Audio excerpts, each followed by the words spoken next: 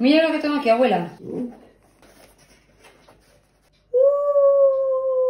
¡Qué preciosidad! ¡Ay! Mira qué funda te han puesto. Teresa la pela ya. ¡Ay!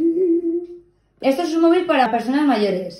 Jorge es un chico que también viene de extranjero como la desiré Sí. y para hablar con su abuela tenía que llamarla por teléfono. Ha creado un móvil para personas mayores que con solo dos toques puedes llamar a la persona que ¿Tienes el quieras. botón?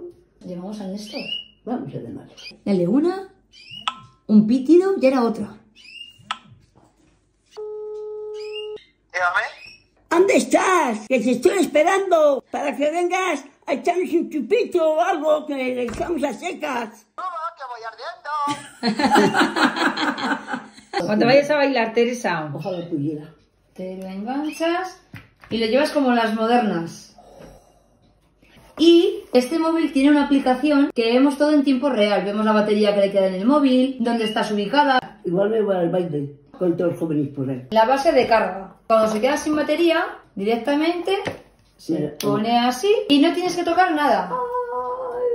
Pero ¿sabes lo mejor? Pueden hacerte videollamadas. Ahora si la de Sire te quiere llamar, tú no tienes que tocar nada. Pues qué alegría. Mis nietas que las vea. Mira quién llama. ¡Ay, mi nieta! Pero mira, que se cogerá solo. Mira. Abuela, Cariño mío, ¿qué tal? cariño mío.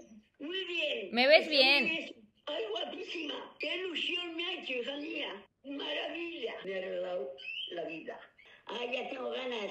Ya pasan de los cuatro meses. Ay, qué ganas Oye, tengo. y si me quedo un poco más no pasa nada. Ahora ya con el móvil. No, no. ¿eh?